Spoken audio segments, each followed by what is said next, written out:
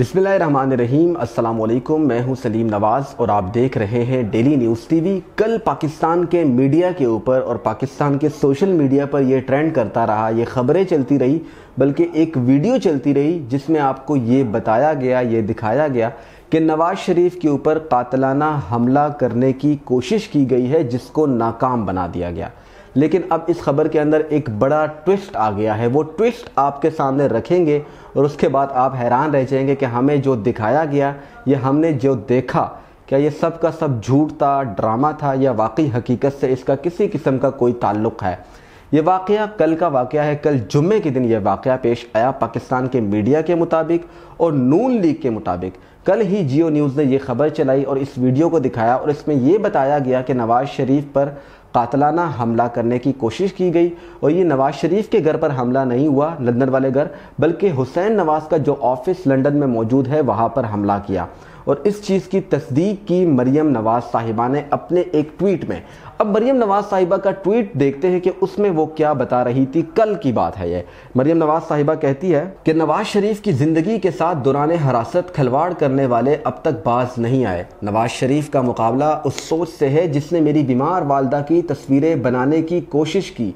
Hotel में मेरे कमरे का दरवाज़ा तोड़ा और आज फिर नवाज़ शरीफ पर हमला हावर होने की कोशिश की। खुदा किसी को कमजर्फ और बुजदिल दुश्मन ना दे। इस ट्वीट के अंदर मरियम नवाज़ साहिबा डायरेक्टली या इनडायरेक्टली पाकिस्तान की हकूमत, पाकिस्तान तहरीक इंसाफ और पाकिस्तान के इस्टेब्लिशमेंट के ऊपर इल्ज़ाम लगा रही है कि आपने ना नवाज़ शरीफ को जेल के अंदर सुकून से बैठने दिया, ना मेरे कमरे का दरवाज़ा जो आपने तोड़ा कराची के अंदर जो मामला हुआ, फिर आपने मेरी वालदा की तस्वीरें बनाई और उन्होंने एंड पर कहा कि अब आप नवाज़ शरीफ के ऊपर लंदन में कातलाना हमले कर रहे मरीम नवाज़ ने कन्फर्मेशन ये भी कर दी कि यह कातलाना हमला करने की कोशिश की गई नवाज़ शरीफ के ऊपर। और दूसरी कन्फर्मेशन ये की, उन्होंने इंकशाफ किया कि यह कातलाना हमला पाकिस्तान की हकूमत या फिर पाकिस्तान की इस्टेब्लिशमेंट की जानब से किया गया। ये बड़ा एक तहलका खेज और चौंका देने वाला जो इंकशाफ है, मरियम नवाज़ साहिबा ने किया। इसका जवाब दिया शहबाज गिल साहब ने अपनी एक ट्वीट में। उन्होंने अपनी ट्वीट में कहा कि अल्लाह पाक उनकी हिफाजत करे। वो तो यहाँ से गए थे लंदन इलाज करवाने के लिए और वहाँ पर उनकी सिक्योरिटी भी बहुत ज़बरदस्त है। तो अगर वो वहाँ पर महफूज नहीं है तो उनको वापस पाकिस्तान लाया जाए तो वो, ताकि वो अपने मुल्क के अंदर रह सके और जेल में इनकी सिक्योरिटी भी बेहतरीन होगी और यहाँ पर महफूज रहेंगे। यानी कि शबाज गिल साहब ने उनको दुआ भी दी और उनके ऊपर साथ में टॉन्ट भी किया। खैर, ये सब कुछ, ये सारा मामला तो रात को हो गया था, लेकिन इसके अंदर अब एक बड़ी जो अपडेट आई है, जो चौंका देने वाला इंकशाफ, जिसको आप कहते हैं हकीकत टीवी वाला जो इंकशाफ है सनसनी खेज इंकशाफ जिसको आप कहते हैं वो आपके सामने अब रखते हैं। जनाब, ये अब तक न्यूज़ के रिपोर्टर है चौधरी तबरेज़ और साहिब। ये लंदन में ही होते हैं और वहाँ के ही रिपोर्टर है। उनका ये कहना है कि ताज़ा तरीन मालूम के मुताबिक हसन नवाज़ के दफ्तर जाने वाले मास्क पहने चार अफराद बेलफ है, जो नवाज़ शरीफ पर हमला करने नहीं, बल्कि नून लीग के एक मकामी रहनुमा के गाड़ी फ्रॉड के सिलसिले में हसन नवाज़ के दफ्तर गए। क्योंकि नून लीग का वो रहनुमा अक्सर वहाँ मौजूद होता है।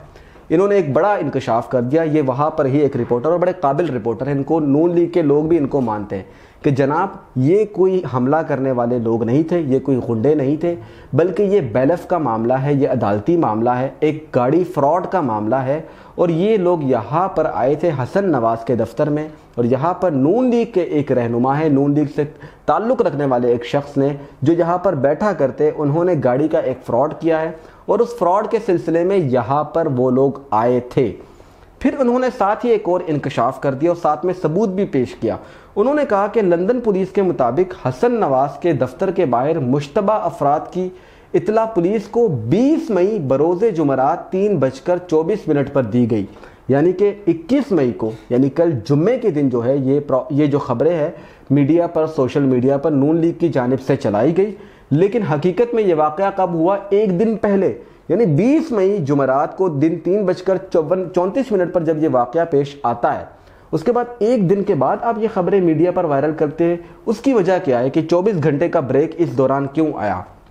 नून लीग के वर्कर की जानब से जो वीडियो बनाई गई है, कातलाना हमले वाली इसके बारे में भी ये बताया गया कि ये वीडियो एडिट की गई है। ये इन रिपोर्टर साहिब का कहना है और लंदन पुलिस का कहना है कि जनाब, ये तो जुमरात का वाक़ है और ये वीडियो भी एडिट की गई है और उन्होंने ये भी बताया लंदन पुलिस ने कि फ़िलहाल तक, अभी तक की इतलात के मुताबिक इस हमले के अंदर किसी को किसी किस्म का कोई नुकसान नहीं पहुँचाया गया, किसी किस्म का कोई हथियार नहीं देखा गया, ना ही बरामद किया गया है। अलबत्ता लंदन पुलिस इस मामले की तहकीकात कर रही है और जब तहकीकात मुकम्मल हो जाएगी तो इसकी एक रिपोर्ट पब्लिक की जाएगी। तो तीन या चार दिन के अंदर ये मामला सुलझ जाएगा।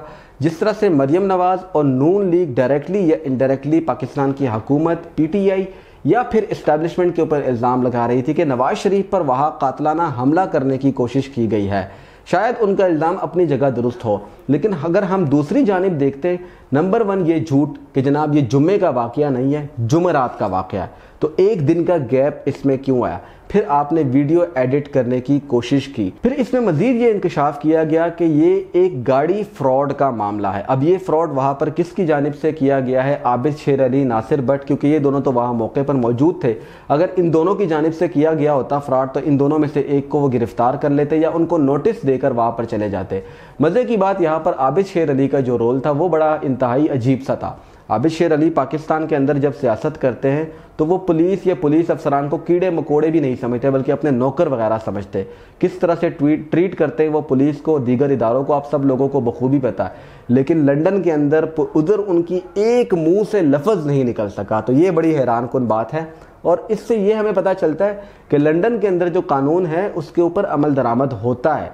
उधर कानून की रिस्पेक्ट है, उधर उन लोगों को पता है कि अगर हमने कुछ गलत किया तो कानून हमें यह नहीं देखा कि जनाब मैं पाकिस्तान के अंदर मिनिस्टर रह चुका हूँ, ये हरगिज़ नहीं है। वहाँ पर कानून सब के लिए बराबर है। अगर यही पुलिस, यही बेलफ पाकिस्तान के अंदर आबिद शेर अली के घर जाती है, नवाज़ शरीफ के घर जाती तो इन लोगों को चपेड़े भी पड़ते इन लोगों को मुर्गा बनाया जाता, उनको वहाँ पर मारा भी जाता, उनकी बेइज्जती भी की जाती, और तो और उनके साथ और बहुत कुछ हो चुका होता, शायद वो नौकरी से भी जा चुके होते। लेकिन लंदन में ऐसा नहीं है। वहाँ पर छोटा सरकारी अहलकार हो या प्राइम मिनिस्टर हो, उन दोनों के लिए कानून बराबर होता है। तो ये इस वाक्य की कुछ तल हकाइक थे जो मैंने आपके सामने रखने की कोशिश की है। बाकी आप लोगों की अपनी राय है, कमेंट सेक्शन में अपनी राय का इजहार ज़रूर कर सकते हैं। इस चैनल को सब्सक्राइब नहीं किया तो सब्सक्राइब करें, नोटिफिकेशन के आइकन पर क्लिक करें, ताकि आने वाली तमाम तर अपडेट्स आपको मिलती रहे। पाकिस्तान हमेशा जिंदाबाद।